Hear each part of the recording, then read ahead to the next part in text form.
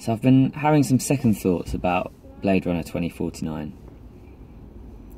I can't really put my finger on it because I really enjoyed the film at the time, and it was in, it was enjoyable. Lots of sounds, lots of incredible special effects and incredible set plays. The scenery was amazing. Like everything was was great in terms of its production value and it's well acted, well directed. It's well written. It's got a decent story and um, there's some things that people have kind of moaned about, like the length of the film and the um, kind of the general feel or pacing, which I really don't have a problem with. I thought it was fine as it was, but um, I left feeling somewhat dissatisfied, and I'm trying to put my finger on why. So I'm gonna talk through why, and um, obviously there's going to be some spoilers. So if you're not willing to have the film spoiled, then please stop. But I think the thing that bugs me is the ending, um, particularly the ending. The ending really, I don't get it and the, the, the you know i have gone to see it with some friends and we're chatting on the way home and one thing that just doesn't make any sense is what was the plan? What was anyone's plan? So i can kind of understand kay's plan or joe. Like his plan is to is to go find who he thinks is his real dad. Deckard's plan is to stay away from everyone. Wallace's plan is um, if i can find the child then i can have a greater uprising because for some reason I can't produce on a production line more replicants than I can birth. Which to me doesn't make a lot of sense, but I understand the logic, even if I don't understand the, the semantics. So, but what on earth were the other replicants doing? Like they, they so they bug Ryan Gosling, they bug Kay, and they, you know, he um. So they're tracking him, and he goes to find Deckard, and they have a bit of a fist fight and they kind of sort themselves out and it's kind of going okay and then scary old replicant with the ponytail and the fringe. Like she turns up and um, she takes Deckard away and sends him off on a ship. And for some strange reason despite killing his girlfriend doesn't kill Kay which again I don't really understand. There doesn't seem to be any narrative purpose to that. They know he's dangerous. They know like presumably she found him through Robin Wright Penn's computer. Oh, sorry, Robin Wright's computer. But again, I just presumed at the time that she was using the tracker, but she wasn't because the prostitute lady was, and she wasn't actually friends of. You, you know what I'm saying. So she hasn't killed him, which is fine. But then the guys who are tracking him just turn up and and, and take him and go right. You're going to help us with the uprising, and it's like, well, why? Why didn't you just talk to him at the time? Like, why did you have to track him and wait for him to basically get into mortal danger before you decided to actually tell him anything useful? They could have told him the whole plan. They could have told him um, all about the baby, about how he's not actually the child. Like, they know he's working things out. That's why they go and research what he knows and they, they realise where he's at. So, why do they leave it? And why are they tracking him? And why they seem to leave a lot to chance in their plan because they leave to chance the ridiculous decision to leave him alive when Deckard gets captured. You either take him with you or you kill him. You surely don't just leave him out for revenge when you know he's a dangerous replicant Blade Runner. But they do. And then, after that, they tell him that they need him to kill Deckard, but that's all the, ma- the, the master plan of he has to kill Deckard only really seems to materialise because now Deckard might lead Wallace to the child, which is a real strange assumption to make because if I know anything about Deckard's character from the original Blade Runner, Blade Runner, and from the sequel, is that he doesn't seem the type to just suddenly decide to um, to do what Wallace wants. So obviously, narratively, that works out because it has to, because Ryan Gosling needs a conflict to solve by the end. But I don't really get why that all had to happen. And their plan is so based on chance. Like, what were they going to do if um, if Ryan Gosling got captured? They can't then airship in and say, "By the way, mate, you're in a prison with Deckard. Could you kill him for us?" And if they really needed Deckard dead, why didn't they tell him before the whole problem in the first place? I guess the problem is they don't need him dead. They just decide they need him, and then why were they tracking him? Was it just in case? just use him as a lead. Maybe the replicants are tracking loads and loads of people just in case they become narratively useful.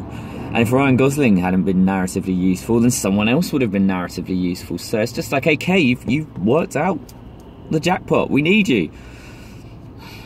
The whole tracking thing just seems a bit, bit contrived.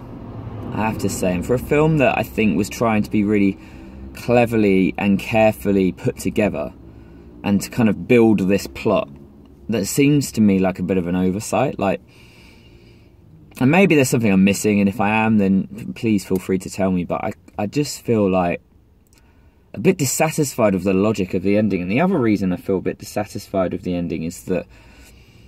So don't get me wrong, I like an open ending because an open ending, like you, you can decide for yourself what's going to happen, and maybe we're, what we're supposed to do is presume that um, they now have everything they need for the uprising because this girl who has been sheltered since she was eight creates people's dreams and memories, so doesn't seem to have any real ability to fight or or inspire. But I guess because she was birthed, she can inspire the revolution anyway.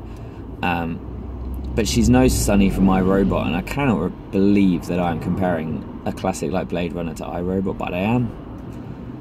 There are better characters who inspire replicant slash robot uprising, and there's probably films that create greater existential questions about the lives of robots or androids than than this film. And it's just left so open. Like, what's the point? Like, if Deckard goes to see his daughter, presumably Kay dies. Um, they're gonna they're gonna prove that they're valuable, and Wallace is none the wiser. Really, he doesn't realise that his prize angel has been killed.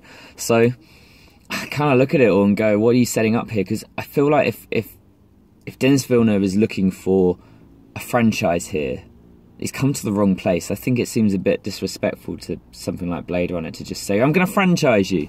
We're going to have Blade Runner 2050 and 2051 and 2052. Just make your 30 years later sequel. You've been given two hours and 43 minutes. Make it make sense by the end. Wrap it up nicely. And if you want to be really clever, then in 30 years' time, let's make another 30 years later sequel in the same universe. Because to me that seems to make more sense and you know maybe that's what they are going to do but just the whole openness of it and like like as i said an open ending with kind of closed boundaries makes sense but this is just so open i'm kind of like what on earth is going to happen next? Do you want us to worry about what's going to happen next? Like are we supposed to make it up for ourselves? Like an inception you're supposed to you know it's a closed book like there's not going to be an inception 2 so you can work out for yourself whether it's a dream or not and all the rest. But like this isn't like that. Like this is are you expecting me to think you might make a sequel or not? I don't know. I guess i also just think Deckard's a waste of time. Like this film seems to me about a it's a film that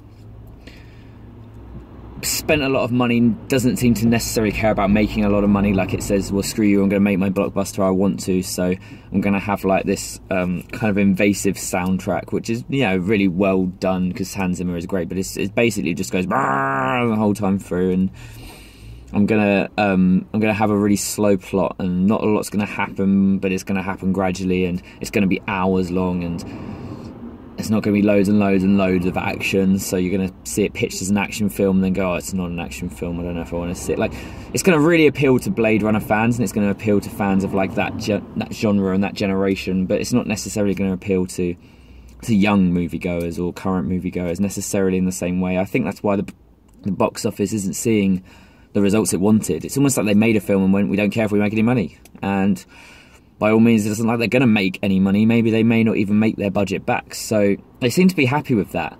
But the one thing they do to kind of say, hey guys, come and see the film. We've brought him back. Deckard is in the film again. And he's in it. And it, narratively, it makes a lot of sense for him to be in it because obviously he's the father of the child and the child is the total central focal point of the film. But I don't really think Harrison Ford needed to be in it. Seems like you've spent a lot of money there on a waste of time. Because what does he do? He has a little fight with Ryan Gosling. We think he's going to be the dad, and maybe you could have a dad and son bonding bit, but then you don't. then you think, oh, maybe the point of putting him in it is to show how he dies because he's got to be killed, and, and he sac- almost he sacrifices himself for the sake of his daughter to an extent because he he will allow Kay to kill him, but that doesn't happen either. Kay saves him, um, which again like annoyed me. And then he goes and meets his daughter, and I'm like, you don't even have to. Why? What's the point? She doesn't even seem to know who you are. Um, he doesn't do anything useful. He has no real narrative purpose. His narrative purpose is in the first hour and a half before he turns up. When he turns up, it's almost like he stops being so useful. Like before, you're kind of like, oh, right, well, he was the father of the child, and the child is really useful and interesting. And suddenly you're like, I just don't care anymore. You look like you got dragged out of bed. And the way you've dressed, like you, really didn't want to be there. I'm not sure you even know what you're doing, Harrison. How many times are you going to be dragged into some random sequel for a film that was famous 30, 40 years ago and have your life threatened, Harrison? I don't know. It just. I just don't see the point. So,